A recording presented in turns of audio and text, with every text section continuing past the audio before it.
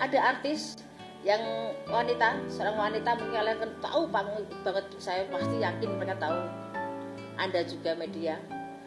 Ada artis yang sangat berkesan kebal hukum tapi nah kasus hukum yang di luar perkiraan dia bisa uh, sampai uh, memasukkan dia dalam sel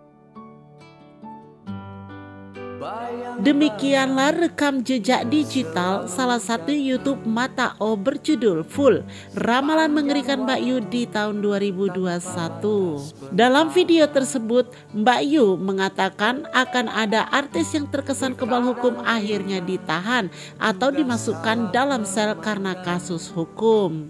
Bahkan Mbak Yu mengatakan artis tersebut awalnya menganggap sepele kasus yang membelitnya, bahkan merasa di atas angin lolos dari masalah itu.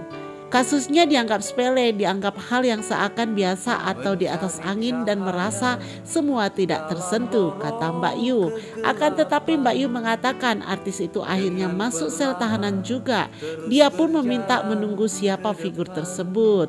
Tapi 2021 sehebat-hebatnya orang beliau kena masuk dan kena kasus dan sempat masuk sel dan beberapa lama akan terbongkar figur siapa di balik semuanya, jelas Mbak Yu. Meskipun tahunnya meleset, ramalan Mbak Yu ini ada kemiripannya. Sekedar diketahui, Nikita Mirjani selama ini terkesan sebagai artis yang kebal hukum, walaupun berkali-kali dilaporkan ke polisi. Yang dapat meneranginya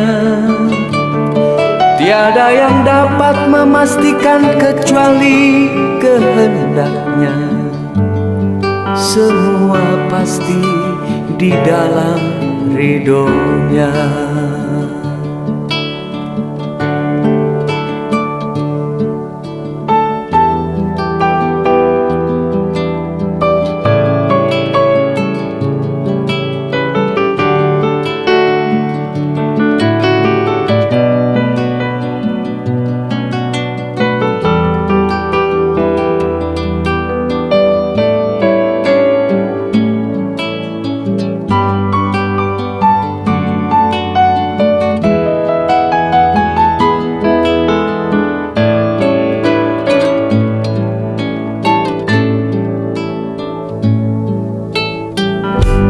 Terkadang kita juga salah memandang. Ketika hidup derita menghadang